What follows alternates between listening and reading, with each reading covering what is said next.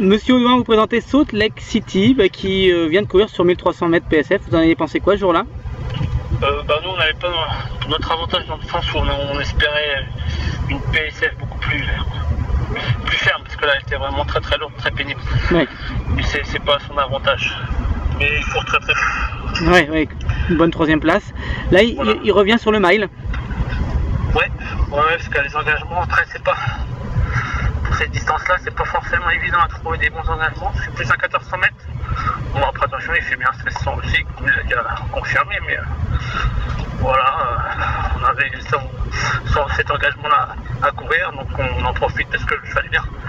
D'accord, là, il aura moins un numéro à l'extérieur, mais on est en ligne droite quand même.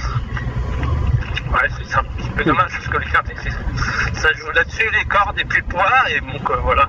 après, mm. je vois sera prêt, hein, mais c'est le problème du quintet, c'est faut trouver, il faut que tout se passe bien, il faut que ça soit le bon numéro de course, faut que ça soit. Mm. C'est les problèmes des quintets, mais bon, bon après quand même, c'est pas souci, mais il faut aller bien. Après, euh, au niveau du poids, on est pas mal placé. Mm. À, voir quoi. Est-ce que concernant le poids, il a perdu 3 euh, livres hein, depuis sa dernière sortie? Ouais. Mm, d'accord. Quand, quand c'est l'avantage un peu, je pense. Ouais, c'est ça, ouais. Quant au terrain, ça va lui aller probablement, faut pas qu'il pleuve trop, je suppose, tout.